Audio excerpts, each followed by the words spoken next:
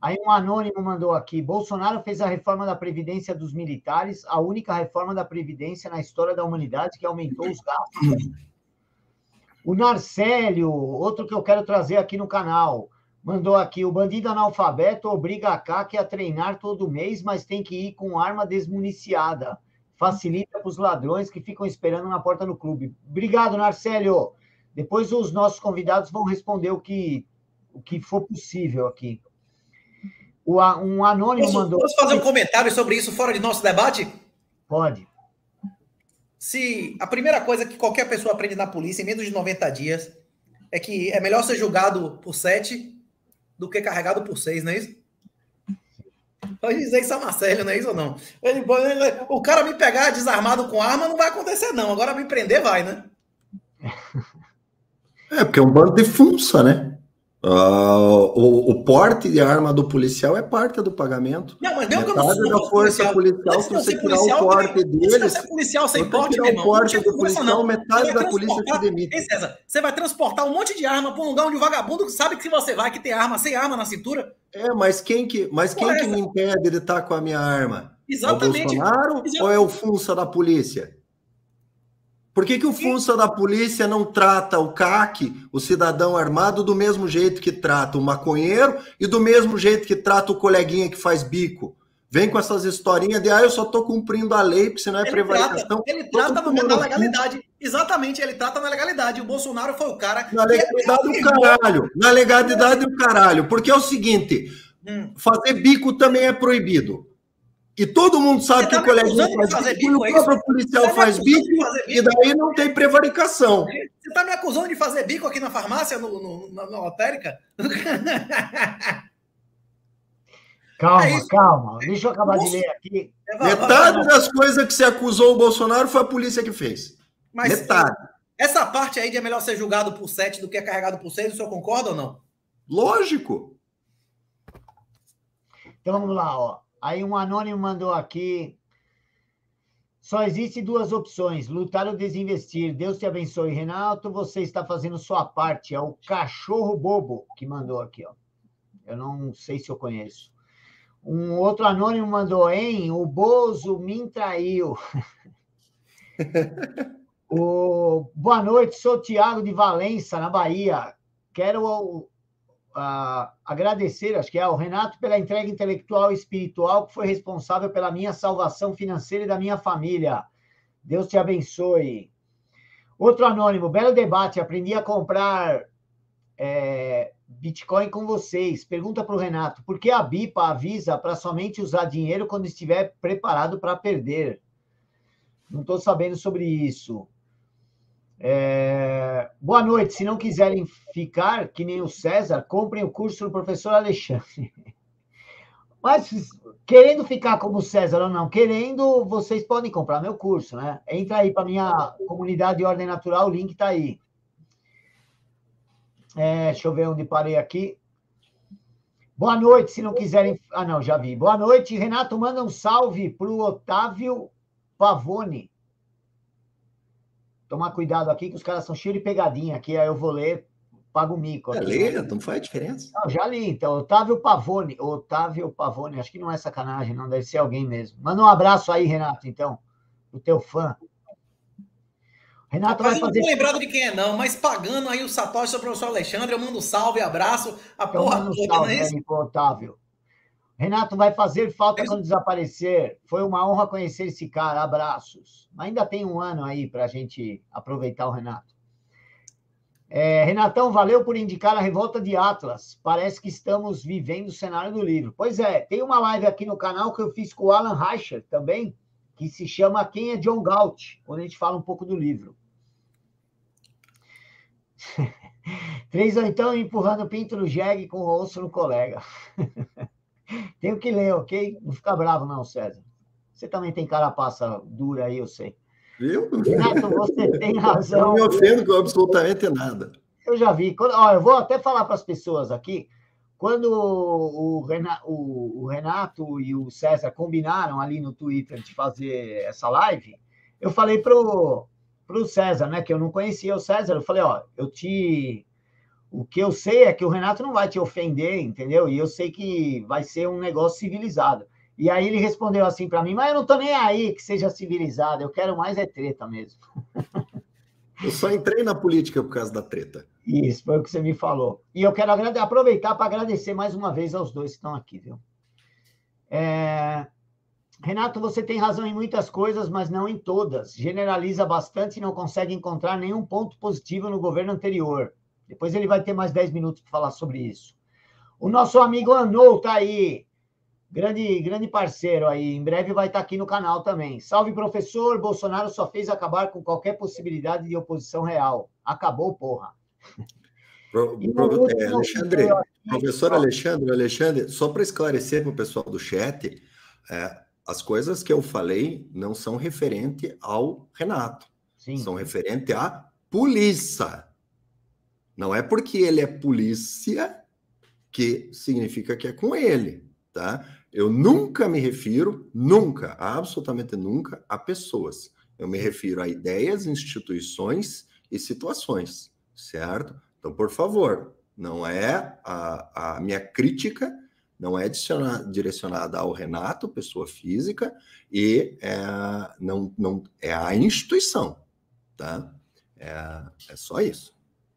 Então, o último comentário até agora aqui, ó, é o BTC é a única saída. Renato é o cara e Alexandre Costa é mestre. Abraço. Muito obrigado a todos que colaboraram e funcionou, hein? Funcionou. Valeu, Miguel Medeiros e Dove. Funcionou aqui meio meio macarrônico aqui o negócio, a gente vai melhorar, mas funcionou, já deu para ler.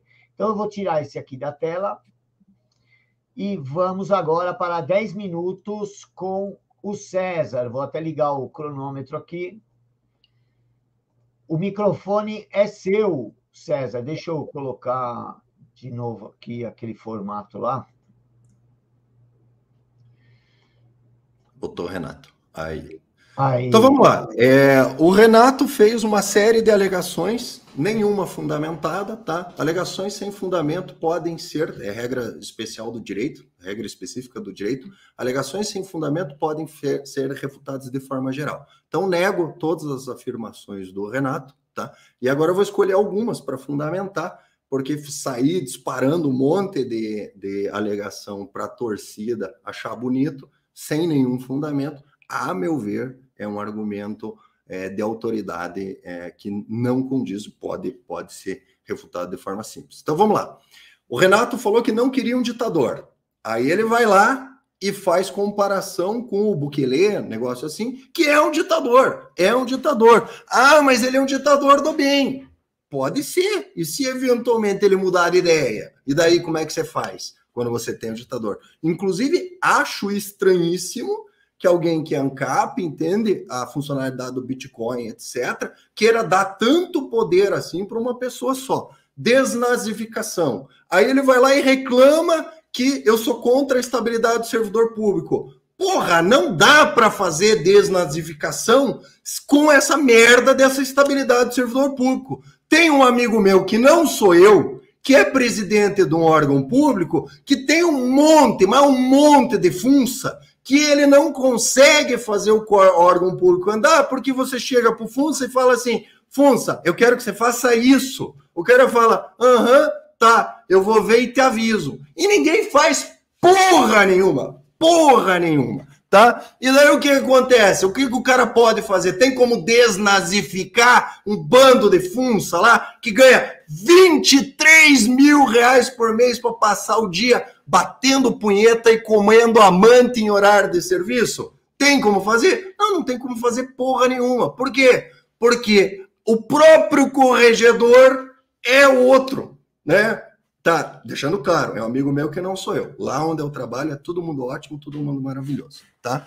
Então, meus amigos, não existe, enquanto houver estabilidade do servidor público, essa história de, ai não, mas o Bolsonaro podia ter mandado todo mundo embora. Isso é bobagem, isso é infantilidade, certo? É impossível de fazer, certo? Então, o primeiro ponto, desnazificação. Primeiro, eu não lembro do Bolsonaro ter prometido isso. Se prometeu, ótimo, maravilhoso, tá? Vocês que acreditaram não funça, tá?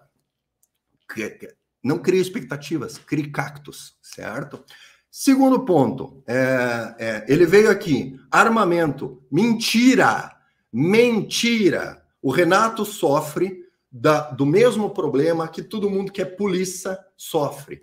Eles não fazem a mínima ideia, a mínima ideia de como é que é para um cidadão comum, trouxa, pagador de DARF, que está do lado de cá do balcão, né? Que só só entra entra com, com, com as costas enquanto os funça entram com o chicote, certo? Eles não sabem o que, que é para comprar uma arma. Por quê? Porque eu tenho que justificar efetiva necessidade. Tá? O Bolsonaro soltou um decreto que acabou com a justificativa de efetiva necessidade. O que, que é efetiva necessidade? É o FUNSA da Polícia Federal, o delegado da Polícia Federal, que olha e fala assim: eu não te conheço, você não é meus amigos, nenhum deputado ligou aqui pedindo, então não, você não tem efetiva necessidade e pau no seu cu.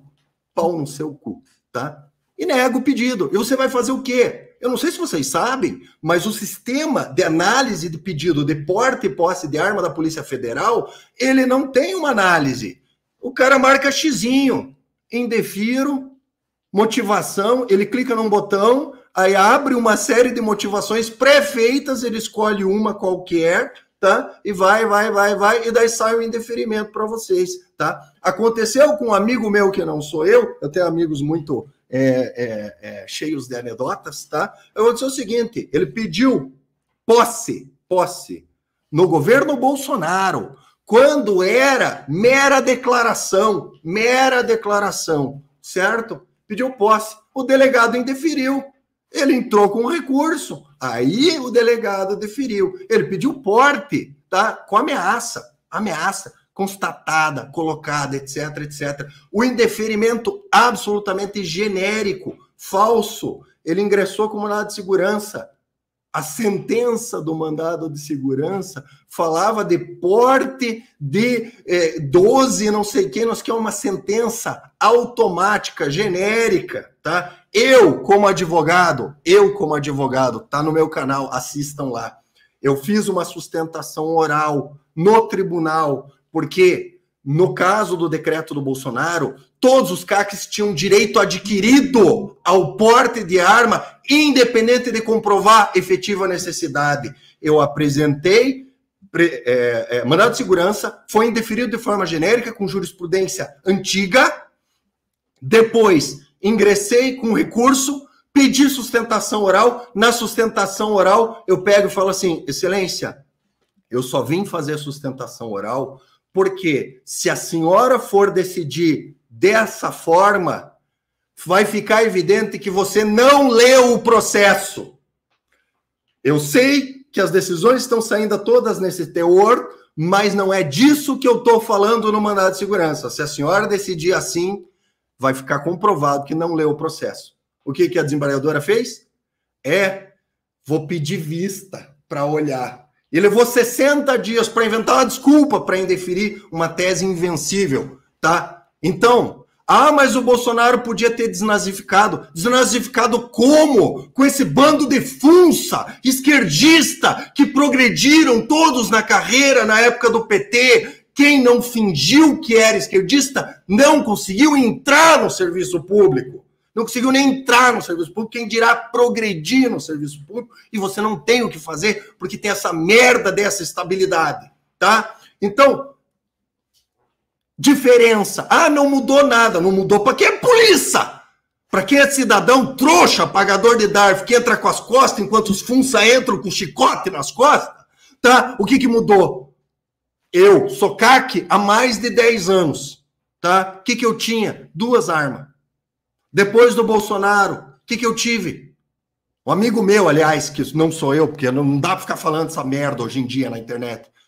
Tem mais de 10 armas, tá? Ah, não mudou nada. Não mudou para quem é funça, para quem é polícia, certo? Por quê? Porque na época da Dilma, na época do PT, estava previsto seis armas. Você conseguia que o funça da Polícia Federal te deferisse? Nunca! Nunca! Era uma arma por endereço e pau no seu cu! E você reclamava para o judiciário, estava previsto na lei. O que, que o judiciário dizia? Não, o delegado faz o que quer, ele tem poder discricionário, confundindo discricionariedade com arbitrariedade, certo? E o que, que mudou com o Bolsonaro? O Bolsonaro, dentro do seu limite, fez um decreto dizendo: não, não, não, não. Senhor delegado, mera declaração é suficiente porque é isso que está escrito na lei, tá? E aproveitando os meus últimos dois minutos, tá? Tudo o que o Renato acusa o Bolsonaro, especialmente a proibição da população de trabalhar, o Bolsonaro era contra e quem te prendeu em casa foi os polícia. Foi os polícia. A polícia se vendeu pro PT, se vendeu pro STF e foi na sua casa te proibir de trabalhar. Foram eles que se acadelaram, foram os funsas que para garantir os seus privilégios, o seu queijinho, a sua a sua a sua segurança, foram lá e obedeceram a ordens absolutamente inconstitucionais, imorais e foram na casa de quem estava trabalhando e simplesmente bateram no povo, impediram o povo de trabalhar, tá? Não foi o Bolsonaro não. Foi o Funça que preferiu ficar com a sua estabilidade, preferiu ficar com o seu salário garantido, preferiu ficar com o seu ganho, tá? Enquanto a população tomava no cu, tá? Isso amando do PT, amando do STF e contrário ao Bolsonaro. Ah, o Bolsonaro podia ter mandado. Ele mandou. O que que os Funça fizeram? O que quiseram o que queriam, porque estavam, ai, o Bozo me traiu, ai, porque diminuiu meu salário, ai, porque não sei o quê. E mais, só para encerrar, essa história de estabilidade é uma farsa completa, porque não existe um funça, um funça que receba salário base. Todos eles recebem adicionais e obedecem, se acadelam para os políticos para não perder os adicionaizinhos que tem. Tá? E finalmente, é muito fácil sair candidato saindo sendo funça, porque o cara sai candidato, fica recebendo salário enquanto sai candidato e se perder, volta para o cargo que tinha. Difícil é sair candidato sendo pagador de DARF, que nem eu, que ficou seis meses sem trabalhar e na hora que perdeu o mandato, tomou no cu! Tomou no cu! Por quê? Porque é trouxa pagador de DARF.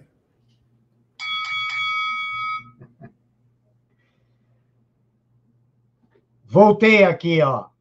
10 minutos agora vai ser para o Renato. Quero agradecer 1.027 pessoas. E agora eu vou inverter aqui. Deixa eu pôr o Renato na tela. Renato, você tem 10 minutos. O microfone é seu.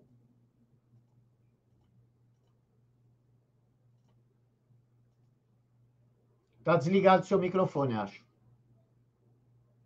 César é um jurista, né? Ele é um advogado com prática. Ele não pode alegar desconhecimento de que o Brasil é uma ditadura. Então ele não pode negar que ele colabora voluntariamente e financia uma ditadura. Pagadores de DAF, pessoas que alegam não serem funças, eles são as pessoas que colocam o próprio filho, estupram o próprio filho. Tem uma pergunta que eu sempre faço, moral, que é simples: é mais moral você estuprar o filho do vizinho ou o seu próprio filho? As pessoas que pagam DAF, as pessoas que, que têm ações na bolsa, que têm imóveis no Brasil, as pessoas que têm tesouro direto, são aquelas pessoas que moralmente preferem estuprar o próprio filho, aquelas que ela tem dever de cuidar.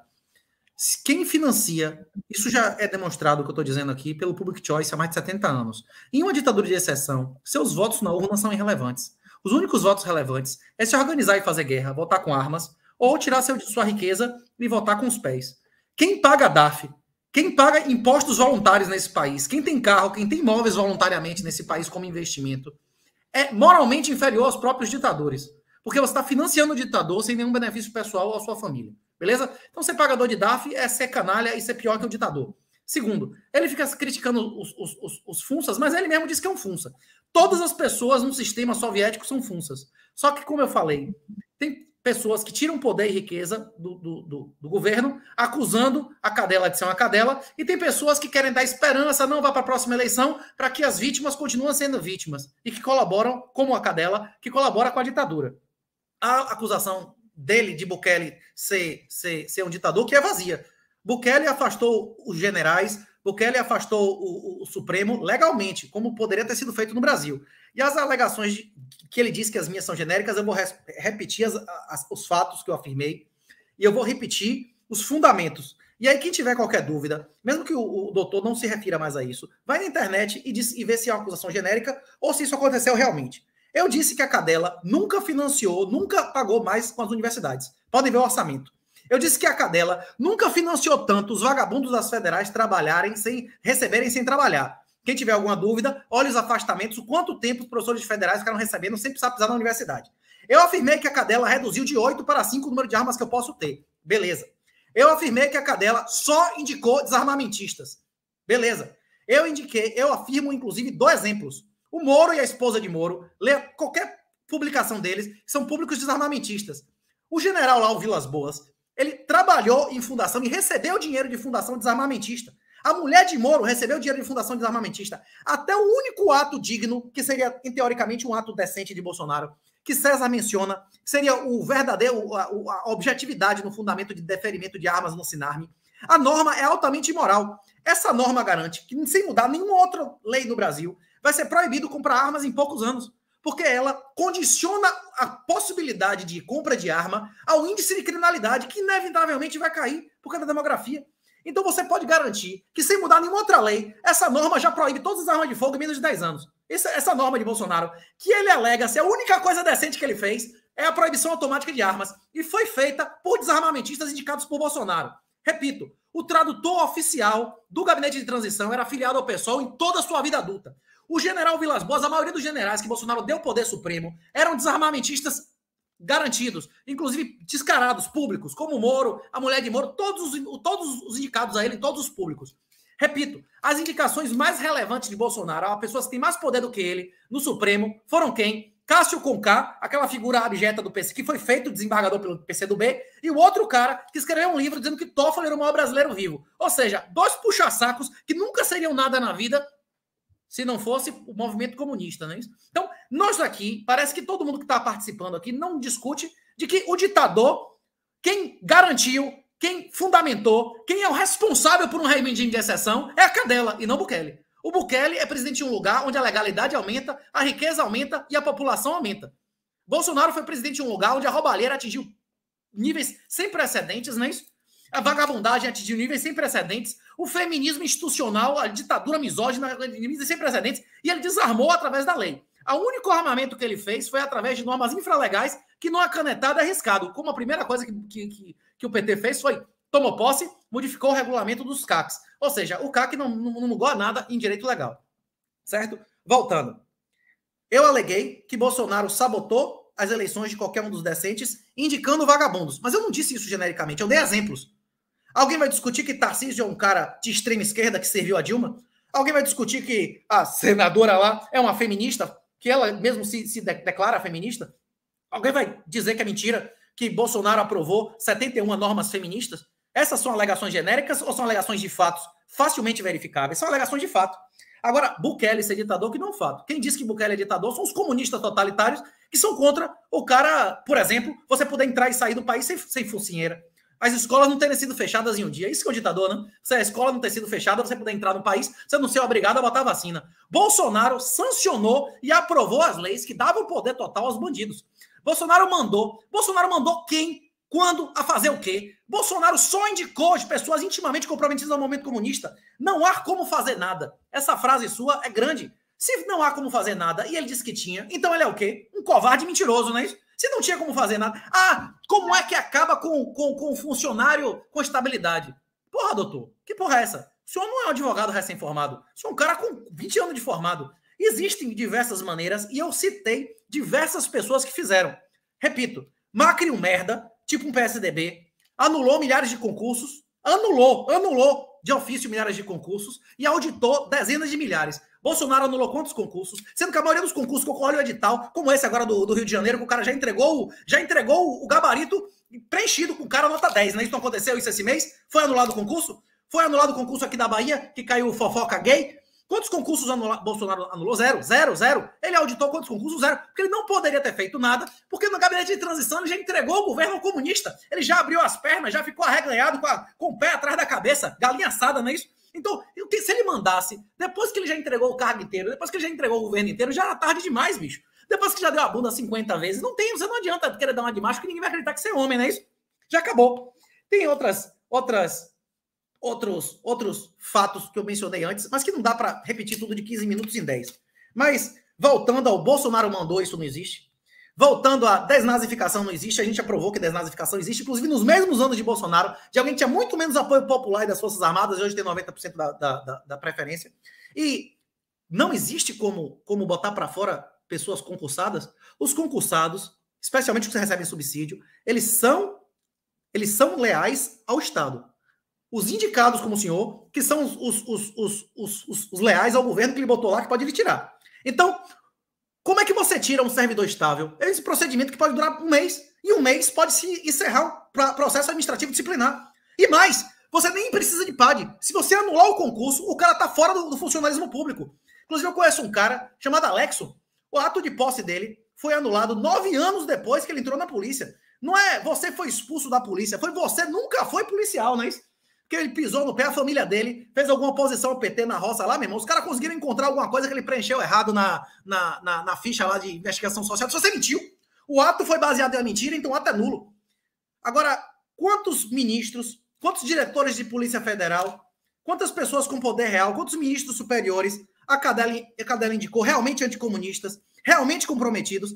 É, esse seu argumento de que quem diz que Bolsonaro é um traidor é infantil, ao contrário. Infantil é aquela pessoa que pega a esposa com cinco caras na cama e diz: não é bem assim. Esse que é infantil, que mente para si mesmo. O cara que é adulto assume, o cara é um merda, é um traidor, e eu sou responsável por salvar minha própria vida. Esse argumento seu de que ah, todo mundo que diz que Bolsonaro é um traidor tinha interesse pessoal. Repito, o professor Olavo de Carvalho tinha que interesse pessoal? Que Bolsonaro desse o quê a ele? Que ofereceu todos os cargos, o professor não quis nada, nenhum. Qual era o interesse pessoal do professor Olavo? O interesse pessoal do professor Olavo é que Bolsonaro limpasse a merda. E o que ele fez foi cagar em cima da merda. Ele comeu e cagou em cima da merda, não é isso? Ele piorou a situação. Ele não anulou nenhum concurso, não auditou nenhum concurso, não fez nada, jurou a lealdade eterna aos vagabundos, foi tomar vinho de noite, ele beijou o Toffoli publicamente, bicho. Vem cá, presidente César, você beija, você beija homem sem ser seu parente? Eu só beijo, eu só beijo meu avô, meu pai, meu tio, véio. nem meus primos eu nunca beijei, velho. Bolsonaro beijou Toffoli no dia que ele foi tomar vinho. Você vai tomar vinho de noite e beija outro macho? É essa relação. E é por isso que, em vez de, de indicar ao Supremo as pessoas que realmente iam fazer o que ele disse, ele indicou o cara que escreveu um livro dizendo que Toffoli era o maior brasileiro vivo. E já que ele fez isso, ele comprova que ele mesmo assume que Bolsonaro é o maior traidor e o maior covarde dos 500 anos. Já deu 10 minutos? Não deu, não? 30 segundos. Dá para você mandar um abraço para tua família lá na Bahia. Lá.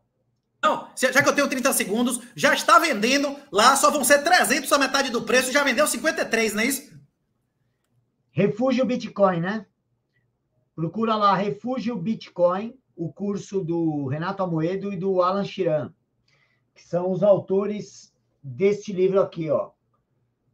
Tá?